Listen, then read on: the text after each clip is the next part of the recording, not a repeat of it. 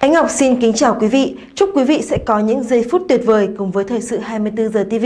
Và sau đây mời quý vị cùng điểm qua những tin tức nóng nhất có trong ngày. Trong bản tin mới nhất về dịch COVID-19 hôm nay, mời quý vị đến với tin nóng sau đây. Tin vui, tất cả học sinh lớp 3E trường tiểu học Xuân Phương âm tính lần 1 với COVID-19. Tin nóng, Hà Nội phát hiện thêm 2 ca mắc COVID-19 lây nhiễm trong cộng đồng. Bệnh nhân mắc COVID-19 đầu tiên tại Hải Dương lần đầu lên tiếng, tôi ái náy với mọi người. Ủy ban nhân dân thành phố Hà Nội yêu cầu khẩn 10 trường trung học phổ thông có học sinh trải nghiệm tại Đại học FPT Hòa Lạc phân tích các F.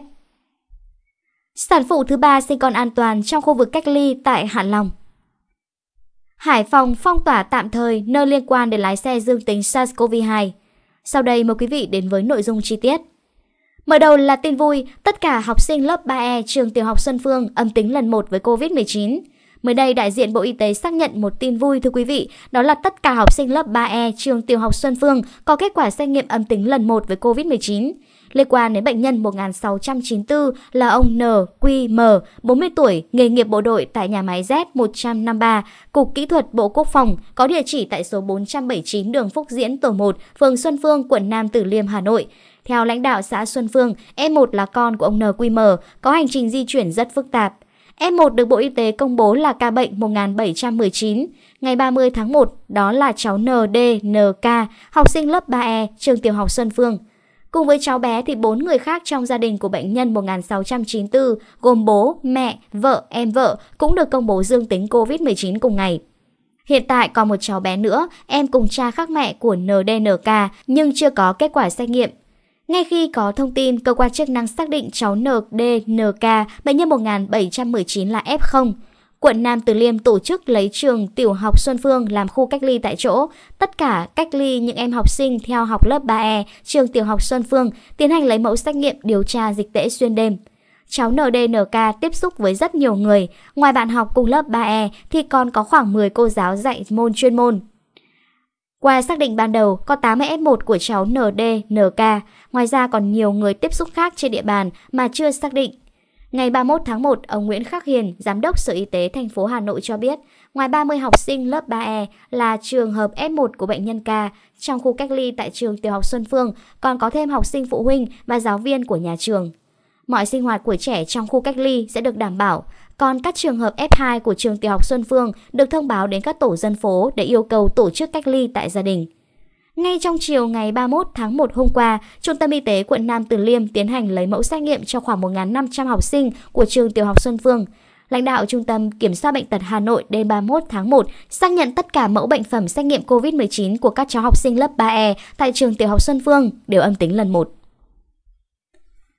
Tiếp theo chương trình là tin nóng, Hà Nội phát hiện thêm 2 ca mắc COVID-19 lây nhiễm trong cộng đồng.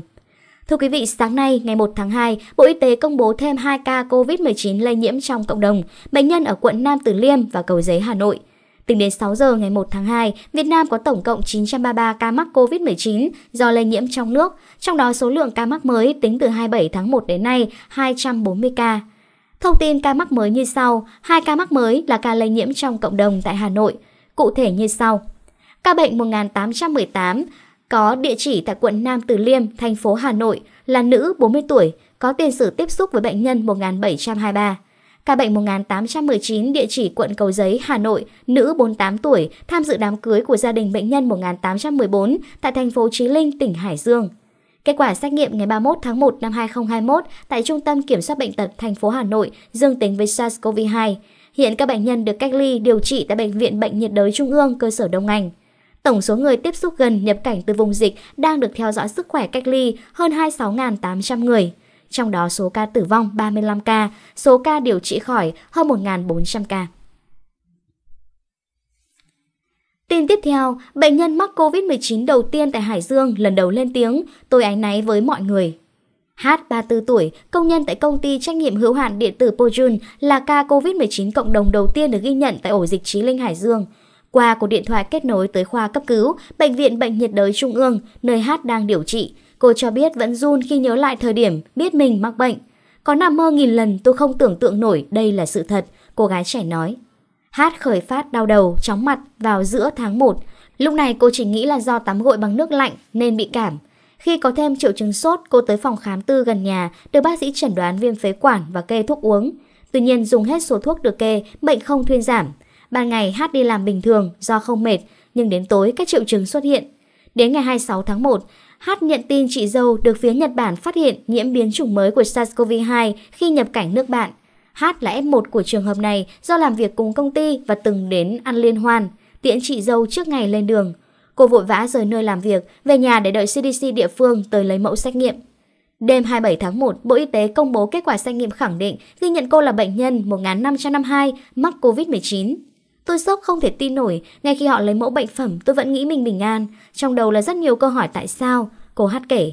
Cô lo lắng khi nghĩ đến hai đứa con ở nhà vắng mẹ, không biết các con và gia đình có ai mắc bệnh hay không. Ngày đầu chuyển cách ly tới bệnh viện bệnh nhiệt đới trung ương, hát không ăn được, chỉ nằm khóc. Cô tắt nguồn điện thoại để giữ bình tĩnh, ngủ được đôi chút.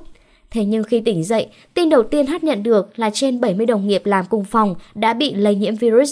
Với cô, đây mới là nỗi sợ thực sự.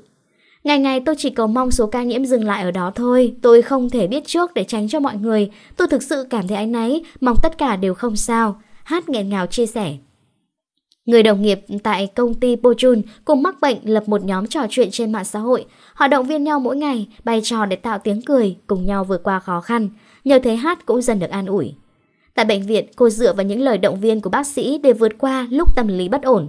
Mỗi ngày cô thắc mắc rất nhiều về câu hỏi về diễn tiến bệnh cũng như vấn đề lây nhiễm đều được bác sĩ tận tình giải đáp. Có hôm đêm muộn rồi nhưng tôi vẫn gọi hỏi, vậy mà họ vẫn nhiệt tình trả lời. Nhờ sự động viên của bác sĩ tôi bớt đi áp lực, thoải mái hơn để điều trị. Hát tâm sự. Hiện mong ước lớn nhất của Hát, cô và tất cả bệnh nhân đều sớm hồi phục, dịch bệnh được kiểm soát. Hy vọng phép màu sẽ đến với chúng tôi, cô nói. Theo các bác sĩ Bệnh viện nhiệt đới Trung ương, bệnh nhân 1552 đang có dấu hiệu sốt, viêm phổi do SARS-CoV-2. Phổi cô có tổn thương dạng nốt và kính mờ.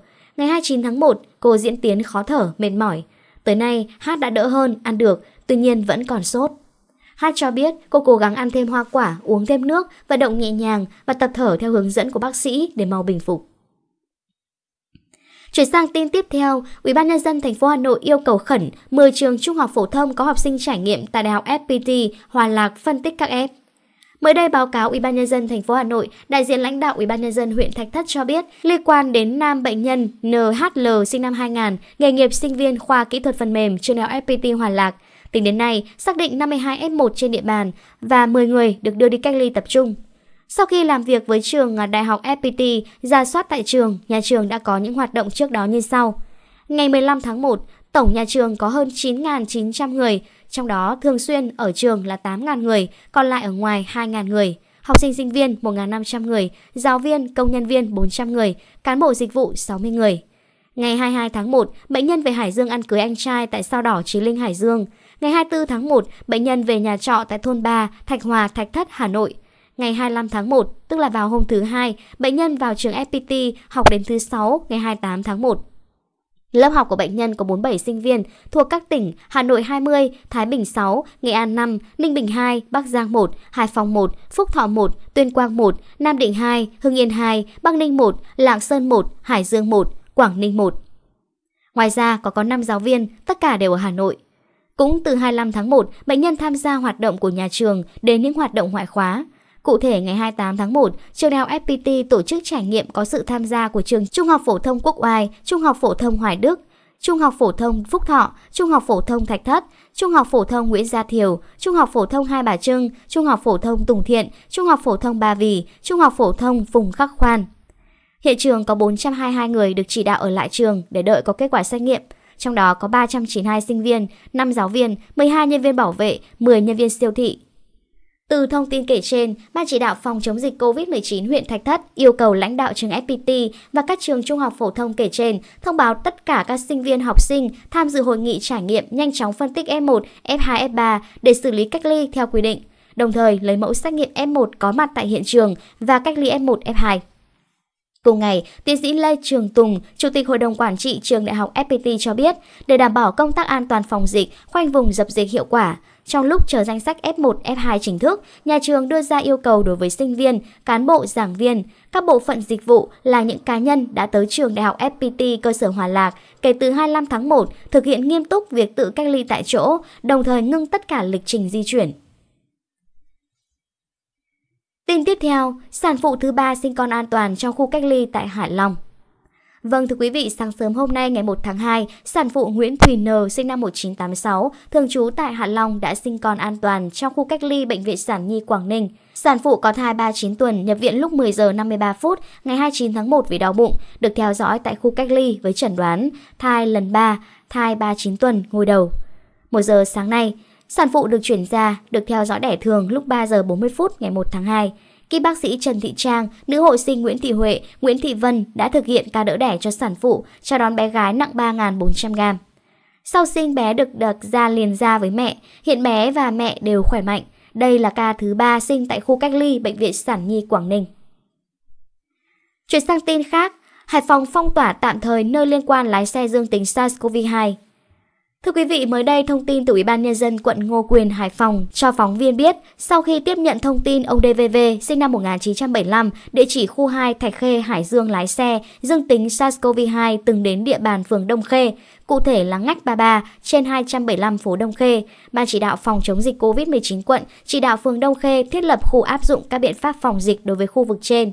Cụ thể là lực lượng chức năng căng dây rào chắn, lập chốt kiểm soát hạn chế người ra vào khu vực, Ủy ban nhân dân phường tiến hành khoanh vùng phun thuốc khử khuẩn, bước đầu cách ly với hai trường hợp F1, 4 trường hợp F2. Hiện phường đang tiếp tục giả soát các trường hợp liên quan. Ủy ban nhân dân phường Đông Khê thông báo các trường hợp ăn dỗ tại nhà số 1 cộng 2, ngách 33 trên 275 Đông Khê ngày 24 tháng 1 liên hệ cơ quan gần nhất để được hướng dẫn lấy mẫu xét nghiệm, cách ly theo quy định. Những trường hợp tiếp xúc với những người F1 khai báo y tế theo quy định và cách ly tại nhà. Trong tối ngày 31 tháng 1, UBND phường à, Đằng Giang, quận Ngô Quyền, Hải Phòng cũng tiến hành cách ly, phong tỏa tạm thời khu nhà trọ ngõ 230 An Đà, phường Đằng Giang, nơi ở của một trường hợp nhiễm F1 liên quan đến một bệnh nhân COVID-19 vừa được xác định tại Hải Dương.